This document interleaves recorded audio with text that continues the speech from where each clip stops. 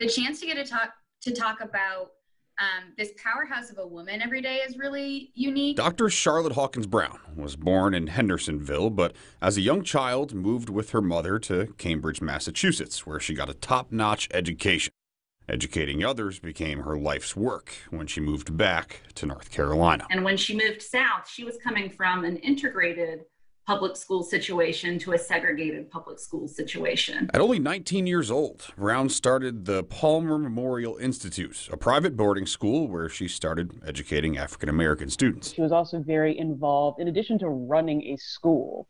Uh, she's also heavily involved in advocacy work. And she was able to raise hundreds of thousands of dollars in Greensboro and Boston from people both black and white.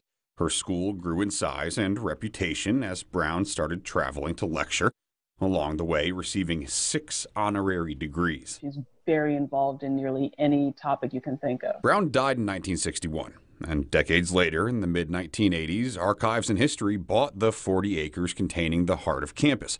Today, it's the Charlotte Hawkins Brown Museum. You never know what particular part of the story is going to catch someone's attention and make them want to like talk with you more. The site's run by three recent UNCG grads, Lacey Wilson, Leslie Leonard, and Sonia Laney. We should not underestimate the power of an individual. There they give tours virtually nowadays. You never know what particular part of the story is going to catch someone's attention and make them want to like talk with you more. But they know they've done their job when they see how people react during and after those tours. And it's almost a call to action, right? Like they leave with this just incredible feeling of inspiration and they want to go in and be some sort of catalyst in their own community. One highlight is the piano that sits in Brown's home. Her niece, Maria Hawkins, was musically gifted, but not as well known as her talented husband, Nat King Cole. The pair would often visit the school, and Cole played that piano. There's something about being able to go in there and dust that piano, right? Even though I have white gloves on and I'm not really touching it,